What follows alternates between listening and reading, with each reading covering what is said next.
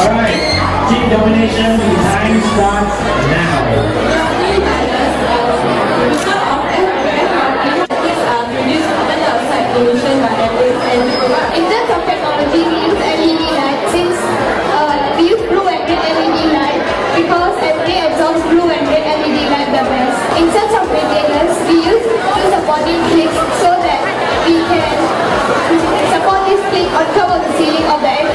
Cabin. Recycled water which we will use the same water to maintain the LA and the one using a new buying experience buying in the most efficient way using biofuel and we are all inspired by nature.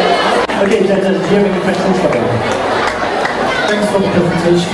Um, two questions. First question is, have you thought about what kind of system you're implementing to actually get the CO2 from the engine into your? The second one, how large would the actual implementation be? So what will be the weight impact? depending on the size of the airplane. Then uh, for the to absorb the carbon dioxide, we have the carbon, di- carbon dioxide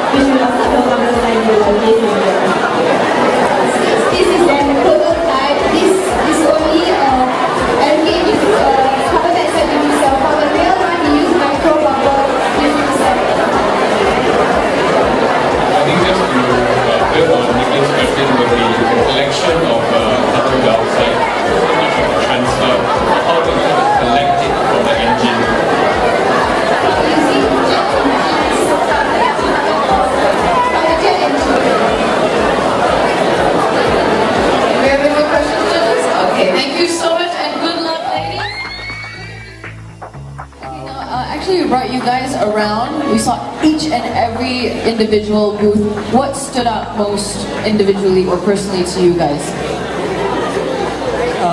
Uh, I, think the all, all the ideas are generally were, were very good, but uh, there, was a couple like the, um, the the one there was a lot of use of solar panels, and uh, the, the one with the LA uh, really stood out a lot. Uh, and with the prototype, show, uh, looking I mean, with the help of the prototype, uh, it really gives us the idea of uh, how that can be used uh, on board a plane in time to come. So that that, that stood out. Uh, I think personally what stood out for me was actually the willingness to try to experiment with whatever was already there, but to look at it from a different perspective and from an angle of engineering uh, with lots of insight. So it was really interesting. I think the three of us really agree that uh, it's really an A plus for effort. Yeah, really to say, you really gave us a hard time, so it was really, really difficult to judge who's going to win because all of the ideas were really good. I think the prototypes were excellent, and also the way you thought about the idea. So you, you thought way beyond your idea and how you approach your idea was really something that stood out. So thanks for that. We learn to communicate with each other and work as a team with different ideas and combine them into one. I think this is very important, you know. I mean, a lot of times individually you can have a lot of ideas, but it takes a lot of teamwork and synergy to actually put it all together. And, and of course, I, I think the teacher must have had quite a big part to play.